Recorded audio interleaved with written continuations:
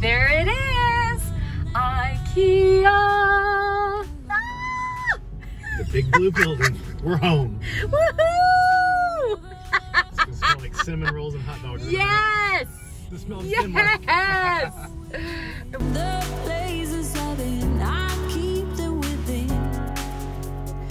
Hi, welcome to the House of Valentina. I'm Valentina, and today's video is gonna be so much fun. I can barely stand it. I can hardly even just, I just wanna jump right into it. We wanna talk about one of our favorite places in the whole wide world, and that is IKEA. You have to say it like that. At least if you're with me, that's how you have to say it. No, seriously, like when my family and friends are with me, they have to say it like that. So we just love IKEA. It's a great place to be able to shop. It's a great place to get tons of inspiration. And we think it's a great place that if you're working on a budget to really make your, your dollars stretch. Now, IKEA has kind of a bad reputation in that most people assume that it's just low-end furniture, it's really cheap, it's not gonna last. And I, I do know for sure that there are some things that aren't as high-end at IKEA. There's certain things that I just won't buy. We'll have to save those for another video because for today, I wanna share with you um, just our little trip to IKEA and I'm showing you in the store how to shop for those luxury items. We talk a lot on this channel about travel, about how to create a luxurious style, a, a luxurious hotel style, that really high-end expensive feel. For those of us who do not have a luxurious budget, sometimes we can use these little hacks and tips and tricks to make something that's very affordable look extremely high-end. If that is something that you really like, make sure to give the video a thumbs up. And if you haven't subscribed already, we hope you go ahead and hit subscribe. All right, let's go to Ikea. We're gonna head to the Atlanta location, which happens to be dangerously close to our house. let's go.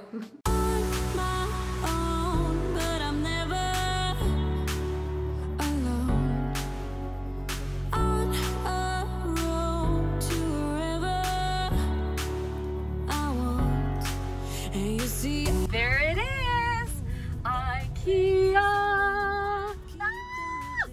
The big blue building. We're home. Woohoo! Like cinnamon rolls and hot dogs. Yes! The smell of cinnamon. Yes!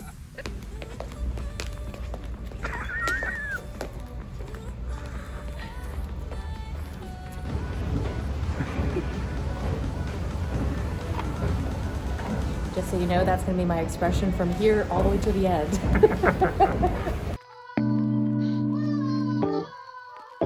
The first thing that I noticed as we went into IKEA was one of my favorite spaces that they had. It, it had this luxurious feel. And I realized that the pieces, they have futon in there, people. This is not high-end furniture, okay? But they, they have a futon in there, which I might have switched that piece out myself, but the overall feeling of the space was very luxurious, and that had to do with the colors that they had chosen. gosh. Oh my gosh, this may turn into a longer trip than we thought.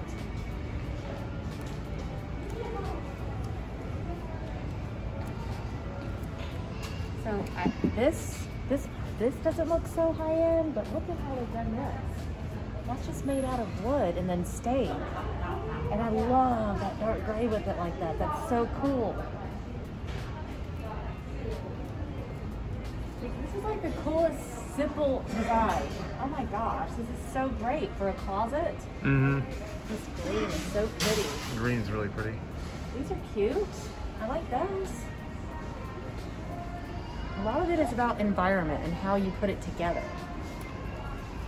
Parker would love this room, don't you think? Yeah. Yeah. This has a very much teenage boy kind of feel to it.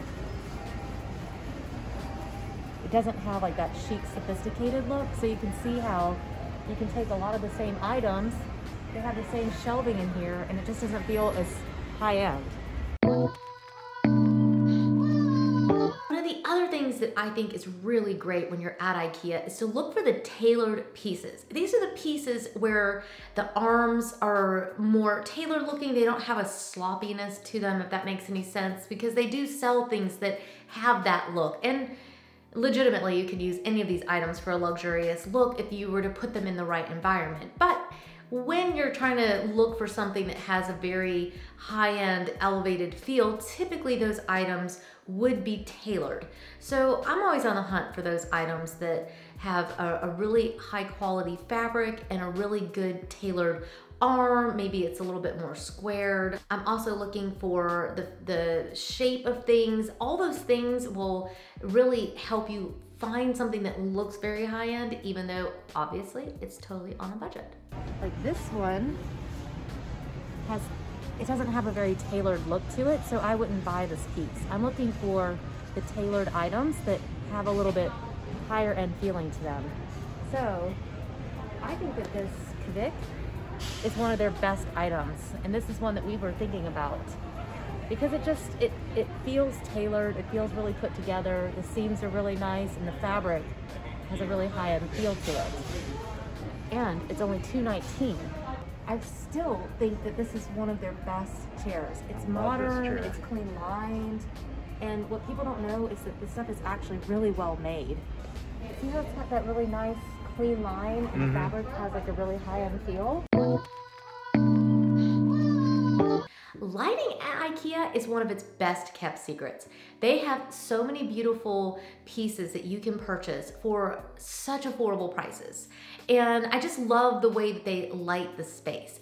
And this is something that you can do. If you ever notice when you go somewhere really high end, whether it's a hotel or a restaurant or uh, a really high-end home, typically what they've done is they've really lit the room and they've used multiple types of lighting. And what that does is it, it creates ambiance. These pendants Ooh. totally have a really high end Oh my god, I love them. those. Aren't those gorgeous? And then they've done like a wood tone down here. All that kind of stuff just makes it look more high end. I really like these lights. So Danish. And look at the artwork. Oh my gosh, this looks like my art.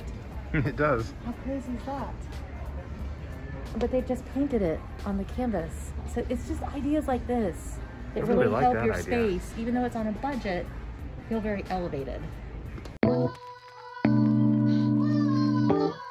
If you think about a really high-end hotel, think about the rooms a lot of times and how they've got a lot of fabric, a lot of beautiful curtain fabric. There's just a, a, a voluminous amount of curtains in those rooms.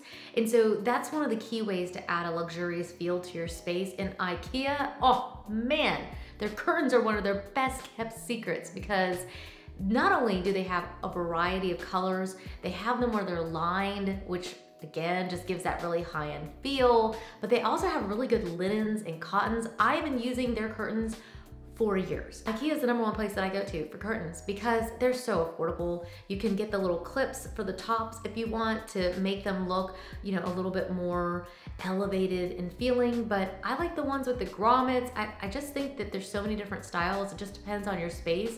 They've pretty much got them. These are great. See how these are lined? Oh my gosh. So that makes it have a higher end feel when it's lined like that. I think IKEA does a really good job with their cabinetry. It's one of their best kept secrets, honestly. They have a few really good secrets. I, I'm gonna keep saying that a lot in this video because they really do have a lot of secrets that I've used over the years to give my home a really high-end feel. And uh, one of the things that they do is that they have really nice cabinetry. You can look at the cabinetry for the kitchen. You could use that in any space of your home. Look for the ones that really have that elevated feel to them. This reminds me of our first apartment. was gonna say, apartment. it's like walking into Copenhagen. yeah, this is like our first apartment that we had in Copenhagen. I know, I just like It's took so my breath similar away. to this. The big windows. Yes. Yeah, and I mean, people don't realize that actually their cabinets are actually really, really nice Yeah. and very, they're very well made, and that's one of their, I think, one of their best kept secrets. Yeah, if you ever wanted to feel like what Copenhagen is like, come to this one little kitchen. Yeah. Doing the kitchen in a wood grain like this also this feels like a really high-end finish. Um, just stuff like that. It gives you a, a more elevated feel. That Honey, I'm home. I love this. Oh, we should do that in ours. Can we get some of those before we leave? Oh, those are great. I want some of those. I know, we've been looking for those. Yeah.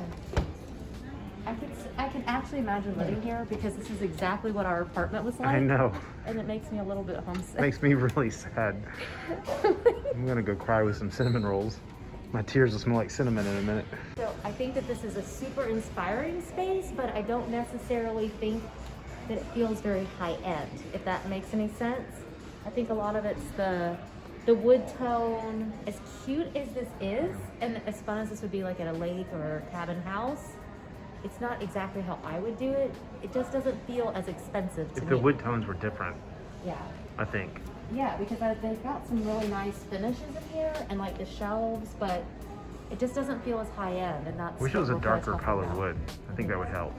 Yeah, if it was done in a darker wood, Like walnut, yeah, my favorite. yeah. I just like just some of the. I don't think that this sofa feels as high end. Um, chair, even though it's in suede, like the buttons aren't as nice. It's just the space doesn't feel as high end. So I just want to kind of show the contrast Mhm. of the spaces. Yeah. Next thing you want to do is to make sure when you are going through IKEA that you are willing to pass on basically everything. You have to be willing to say no to a lot. Something may not be the right color, something may not be the right finish, something may not look as high end as what you really want it to be, and you need to just save up longer and get it from somewhere else. But either way, when you get into IKEA, it is so hard to stay focused because it is so much fun to be there. It's so inspiring and you catch this vision for what you can create because you're in a home where it's all done and it's like I'm just gonna take this room and recreate it. I think just being able to walk away is probably one of the best things that you can do. Leave it to me to pick out the most expensive one.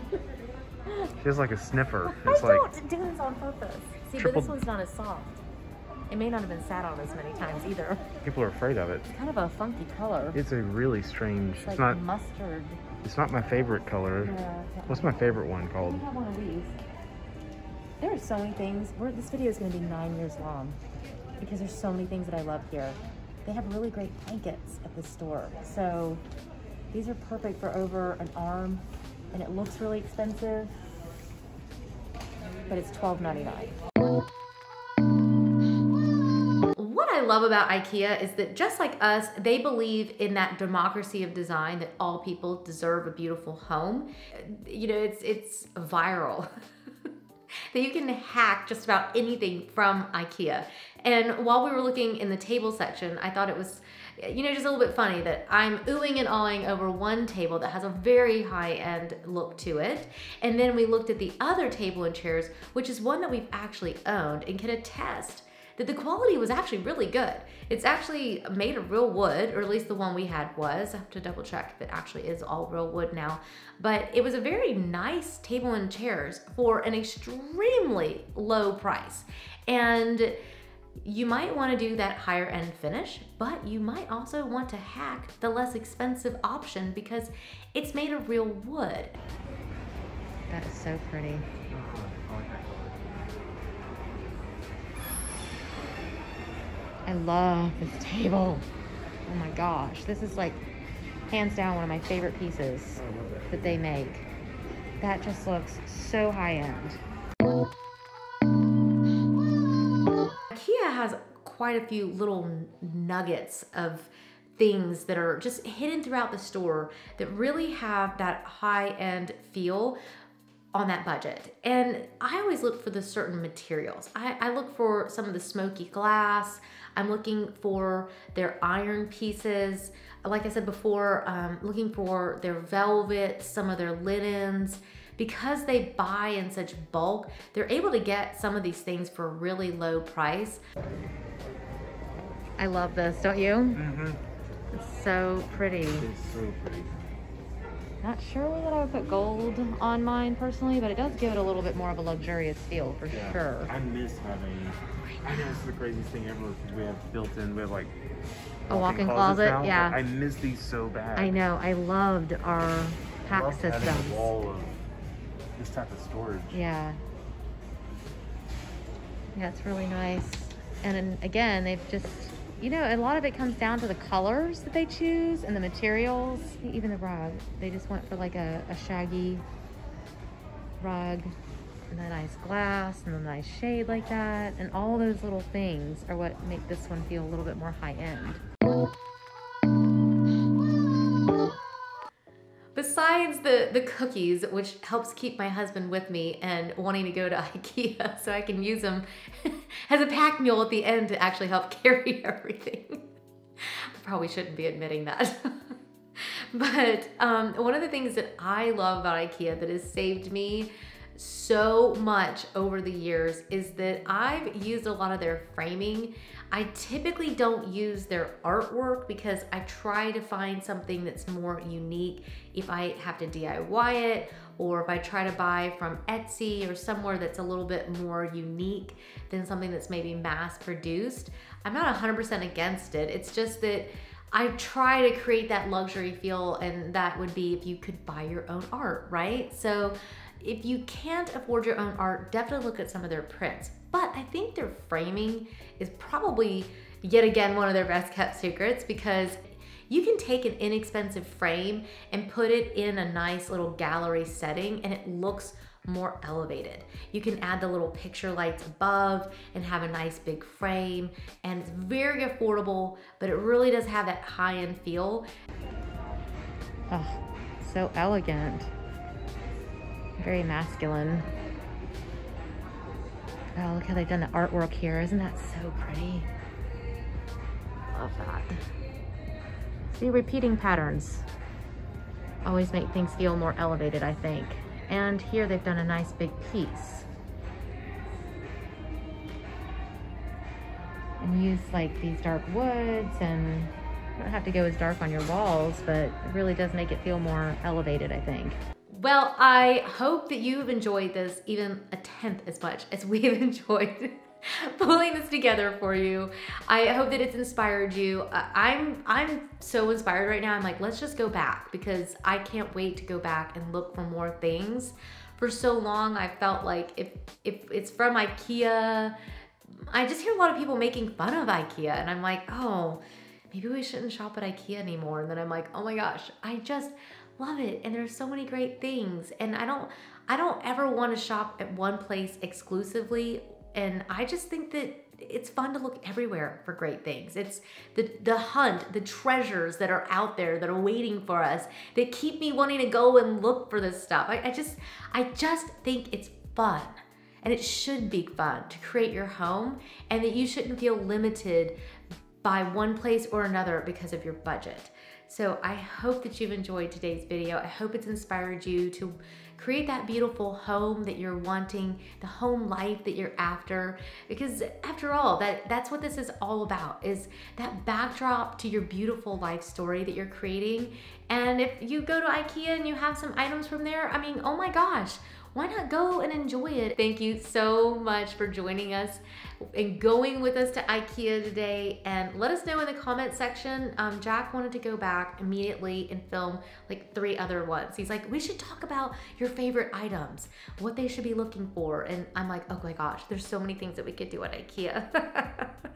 so write down in the comment section if you want us to go to Ikea one more time and show you maybe our favorite little items throughout that we think are like their absolute best kept secrets. I've mentioned a few here, but there's still so many more that I think that you would really love. So we were shopping specifically for items that were getting ready to do some pretty big, big room makeovers, not only in our own house, but in other homes as well.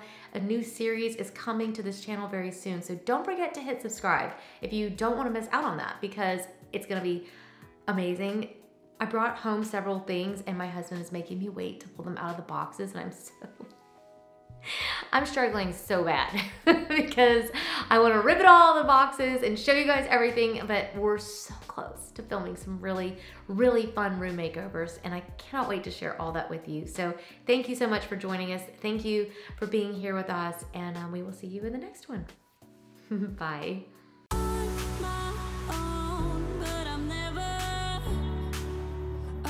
I do like their little their little coffee cookies though.